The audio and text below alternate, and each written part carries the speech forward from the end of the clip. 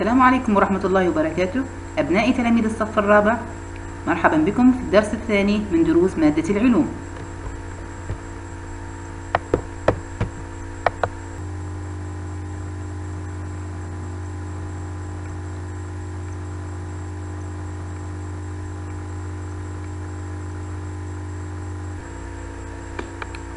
درسنا اليوم هو الجهاز الدوري للإنسان.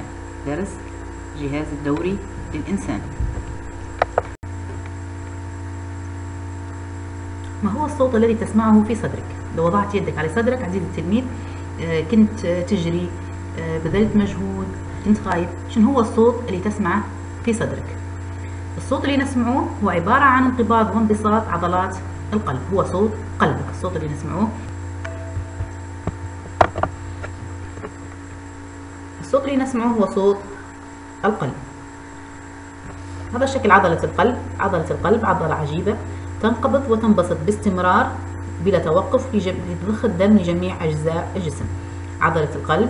عضلة تنقبض وتنبسط باستمرار لضخ الدم لجميع أجزاء الجسم. انقباض وانبساط. عضلات آه عضلة القلب عفوا. انقباضها وانبساطها هو اللي يعطيني الصوت اللي نحن نسمعه. آه تنقبض وتنبسط ليش؟ لأنها باش تضخ الدم لجميع أجزاء الجسم. هل عضلة القلب هذه نحن نتحكم فيها؟ لا. هي عضلة لا إرادية شو معنى لا إرادية؟ بمعنى أن الإنسان ما يقدرش يتحكم في عضلة القلب. الله سبحانه وتعالى أعطاها الميزة هذه لأنها باش تضخ الدم لجميع أجزاء الجسم باستمرار. عندنا عضلات اليدين والرجلين. هل هن عضلات لا إرادية حتى هن؟ هل شوف أرفع يدك تقدر ترفعها؟ بينزلها تقدر. يعني يدك هنا أنت المتحكم فيها صح؟ فهنا بالتالي عضلة لا عضلة إرادية عضلة إرادية لأنك أنت اللي بتتحكم فيها لكن عضلة القلب أنت ما تتحكمش فيها بالتالي عضلة القلب هي عضلة لا إرادية وظيفتها أنها تضخ الدم لجميع أجزاء الجسم عن طريق الانبساط والانقباض أين يوجد قلبك؟ عزيزي التلميذ أين يوجد قلبك؟ أين يوجد قلبك؟ أي كل واحد يحط يده على صدره أين يوجد قلبك؟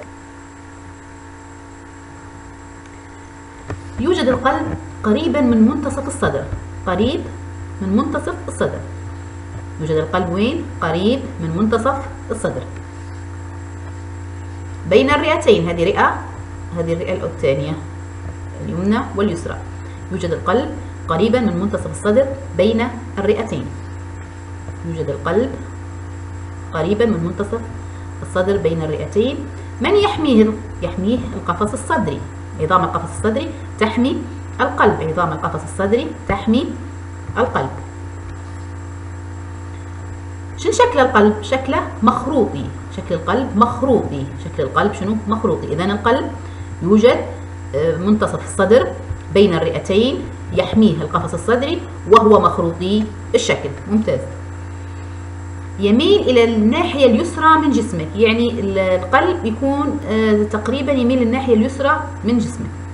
إذا لما واحد يقول لك وين أو أين يوجد القلب نقوله بين منتصف الصدر قريب عفوا من منتصف الصدر بين الرئتين يحميه القفص الصدري شكله مخروطي مخروطي الشكل يميل قليلا من إلى الناحية اليسرى من جسمك. عزيزي التلميذ هل تعلم أن حجم قلب الشخص البالغ شنو بالغ يعني الشخص الكبير؟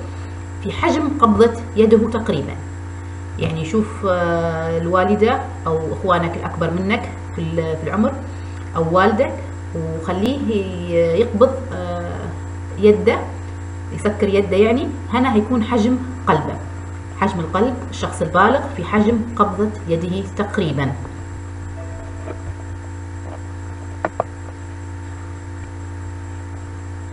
يتكون الجهاز الدوري للإنسان مما يتكون الجهاز الدوري للإنسان. يتكون من القلب اللي كنا نحكوا عليه توا اللي هو مخروطي الشكل. يميل إلى الناحية اليسرى من الجسم. شنو أيضا حكينا على القلب؟ آه يوجد بين الرئتين. شنو حكينا أخرى على القلب قلنا أنه هو يحميه القفص الصدري. وموجود آه قريبا من منتصف الصدر. الشيء الثاني يتكون من الجهاز الدوري الدم. إذا مما يتكون الجهاز الدوري للإنسان القلب ثم الدم. أيضا الأوعية الدموية. مما يتكون الجهاز الدوري للإنسان القلب. نتكلم الآن على الدم. اللي هو المكون الثاني للجهاز الدوري. المكون الأول القلب وحكينا عليه في البداية؟ نحكي تو على الدم اللي هو المكون الثاني. يحتوي الدم على كريات دم حمراء وكريات دم بيضاء. طبعا ناخذ شيء مبسط عن الدم في السنوات القادمة إن شاء الله آه، تدرسوا بشكل موسع. لكن الفترة هذه نحتاجه أو هذا العام أن نعرف أن الدم يحتوي على كريات دم حمراء وكريات دم بيضاء. كريات دم حمراء وكريات دم بيضاء. نبغى نعرف شنو وظيفة كريات الدم الحمراء وكريات الدم البيضاء أيضا شنو وظيفتها.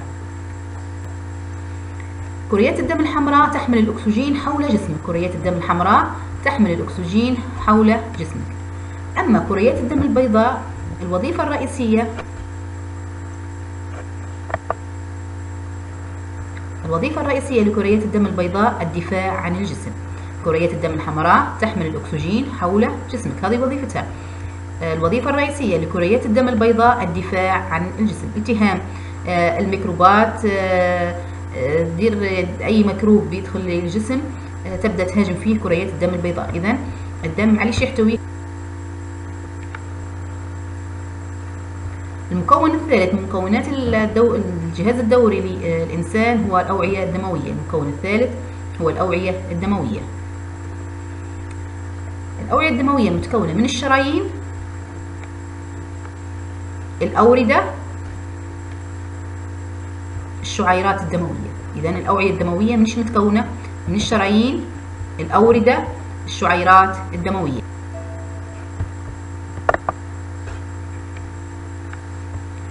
هذا شكل الشريان هو السهم الأحمر يدل على أن دم مؤكسج أو يحتوي على عنصر الأكسجين. هذا الشريان في منه تفرع التفرع هذا شعيرات دموية اللون الأحمر لأنها حاملة للأكسجين. هذا التفرع هذا أيضا شعيرات دموية لكن حاملة لثاني أكسيد الكربون. الشعيرات الدموية هذه وين تشيلنا؟ تشيلنا عند الوريد. هذا وريد. هذا وريد. شوفوا الشعيرات الدموية ربطت بين الشريان والوريد. الشعيرات الدموية هنا حاملة لدم مؤكسج أو مملوء بالأكسجين. هنا الشعيرات الدموية حاملة لثاني أكسيد الكربون. هنتكلموا عليهم. نجو نتكلموا توا على الشرايين. هذا شكل الشريان. الشرايين شنو وظيفتها الشرايين؟ تحمل الدم الغني بالأكسجين من قلبك إلى جميع أجزاء جسمك. إذا الشرايين هي اللي تحمل الدم الغني بالأكسجين من قلبك إلى جميع أجزاء جسمك. الشرايين تحمل الدم الغني بالأكسجين من قلبك إلى جميع أجزاء جسمك. آه، تراكيبها وعندها وظائف بشكل أكثر آه، دقة تاخذوهن أيضا في الأعوام القادمة. يهمنا توا نعرفوا أن الشرايين هي اللي تحمل الدم الغني بالأكسجين من قلبك إلى جميع أجزاء جسمك. تحمل الدم الغني بالأكسجين من قلبك إلى جميع أجزاء جسمك. هذه من هي؟ هي الشرايين. إذا قلنا الشرايين تحمل دم غني بالأكسجين وطعام مهضوم وماء الشرايين شن تحمل لجسم الإنسان أو لخلايا الجسم؟ دم غني بالأكسجين وطعام مهضوم وماء. عن طريق من؟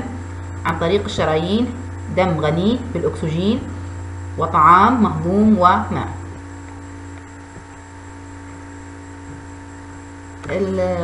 القسم الثاني من الأوعية الدموية هي الأوردة. القسم الثاني من الأوعية الدموية هي الأوردة. هذا شكل الوريد. شنو وظيفتها الأوردة؟ تحمل الدم الغني بثاني أكسيد الكربون إلى القلب. تحمل الدم الغني بثاني أكسيد الكربون إلى القلب. تحمل الدم الغني بثاني أكسيد الكربون إلى القلب. الأوردة أيضا نفس الشرايين سيتم دراستها آه، في الأعوام القادمة. نعرف أن هنا آه، علينا العام هذا أن الأوردة تحمل الدم الغني بثاني أكسيد الكربون إلى القلب. إذا عرفنا أعزائي التلاميذ أن الأوردة تحمل دم غني بثاني أكسيد الكربون وفضلات. الأوردة تحمل دم غني بثاني أكسيد الكربون والفضلات. الشعيرات الدموية. الشعيرات الدموية لها جدران رقيقة جدا. لماذا؟ لها جدران رقيقة جدا. لها جدران رقيقة جدا باش تؤدي وظائفها اللي هي عندها وظيفتين. الأولى تنقل الأكسجين والطعام المهضوم والماء من الدم إلى الخلايا عن طريق جدرانها نقل الأكسجين والطعام المهضوم والماء من الدم إلى الخلايا. الوظيفة الأولى للشعيرات الدموية تنقل الأكسجين والطعام المهضوم والماء من الدم إلى الوظيفة الثانية للشعيرات الدموية تحمل ثاني أكسيد الكربون والفضلات من الخلايا إلى الدم. الوظيفة الثانية أنها تحمل ثاني أكسيد الكربون والفضلات من الخلايا إلى الدم. هذه الشريان الشعيرات الدموية الأوردة. هذه الأوعية الدموية عبارة عن شرايين شعيرات دموية أوردة. أو وريد. الشريان اللون الأحمر دلالة على آه، أن الدم يحتوي على الأكسجين. اللون الأزرق الدم يحتوي على ثاني أكسيد الكربون. هذا شكل الجهاز الدوري للإنسان. هنا القلب في منتصف الصدر آه، تقريبا. الشكل هذا شكل الأوردة الشعيرات الدموية. هنا عندنا الشرايين.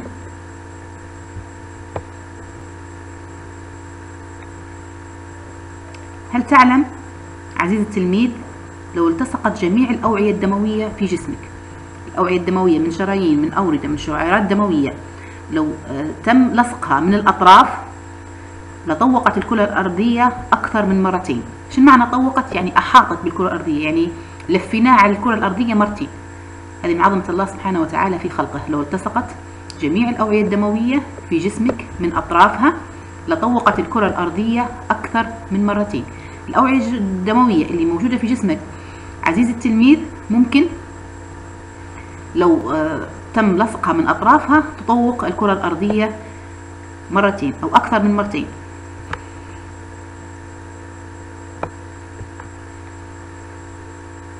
مراجعة لما سبق. اختار الإجابة الصحيحة عزيزي التلميذ. القلب يميل قليلا إلى الناحية اليسرى أم اليمنى؟ القلب يميل إلى الناحية اليسرى أو اليمنى. نعم. القلب يميل إلى الناحية اليسرى أو اليمنى. نعم الإجابة القلب يميل قليلا إلى الناحية اليسرى. يميل إلى الناحية اليسرى. أحسنتم السؤال الثاني. أيضا اختار الإجابة الصحيحة. شكل القلب مخروطي أو أسطواني. شكل القلب بداية الدرس. مخروطي أو أسطواني. شكل القلب مخروطي أو أسطواني. نعم. شكل القلب مخروطي. شكل القلب هل العبارة الآتية صحيحة أم خاطئة؟ عبارة اللي تو بنحكوا عليها أو بنذكروها صحيحة أم خاطئة. ركزوا معايا. يوجد القلب قريبا من منتصف الصدر بين الرئتين. القلب قريب من منتصف الصدر بين الرئتين. أحسنتم. أحسنتم إجابة صحيحة أو عبارة صحيحة. نعم. هل العبارة الآتية صحيحة أم خاطئة؟ كريات الدم البيضاء تحمل الأكسجين حول جسمك. كريات الدم البيضاء كريات الدم البيضاء. بداية الدرس تكلمنا عليها. هل صحيح أنها تحمل الأكسجين حول جسمك؟ كريات الدم البيضاء تحمل الأكسجين حول جسمك. أحسنتم. إجابة أو عبارة خاطئة. أحسنتم. أكمل. العبارة تنقسم الأوعية الدموية إلى الفراغ الأول وفراغ الثاني وفراغ الثالث. تنقسم إلى نقاط ونقاط ونقاط الأوعية الدموية إلى ماذا تنقسم؟ ذكرناها بداية الدرس. تنقسم إلى نقاط ونقاط ونقاط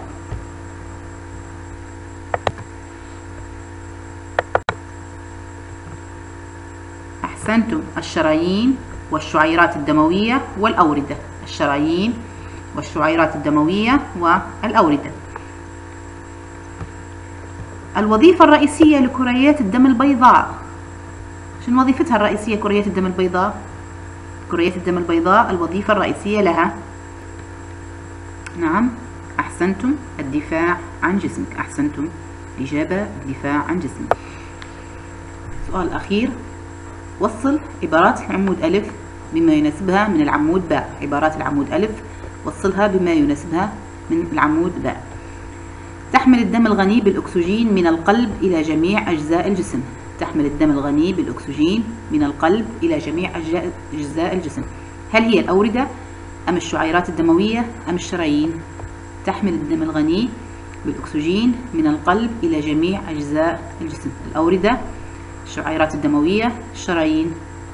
نعم أحسنتم. الشرايين هي من يحمل الدم الغني بالأكسجين من القلب إلى جميع أجزاء الجسم. تحمل الدم الغني بثاني أكسيد الكربون إلى القلب. تحمل الدم الغني بثاني أكسيد الكربون إلى القلب. هل الأوردة من الشعيرة الدموية؟ تحمل الدم الغني بثاني أكسيد الكربون إلى القلب. نعم أحسنتم هي الأوردة.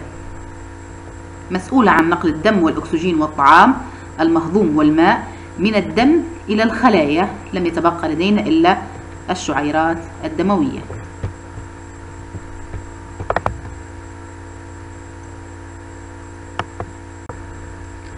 السلام عليكم ورحمة الله وبركاته. أبناء التلاميذ نلتقي في الحصة القادمة.